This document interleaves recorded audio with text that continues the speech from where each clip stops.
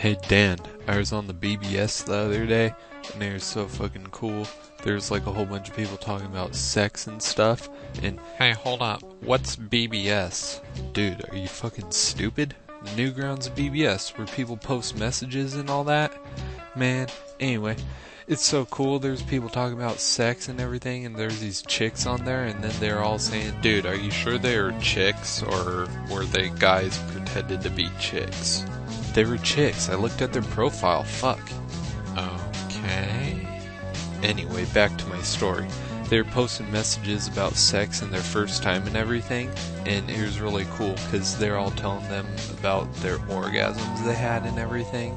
Man, it was so fucking awesome. All these guys were like, "Hey, post picture of yourself. I want to see what you look like."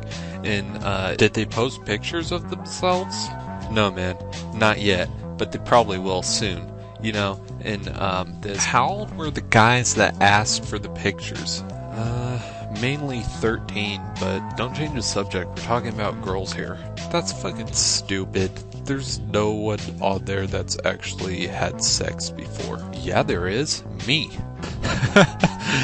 yeah, right. The only sex you had is with your right hand, dude. Fuck you. you bastard! STFU noob.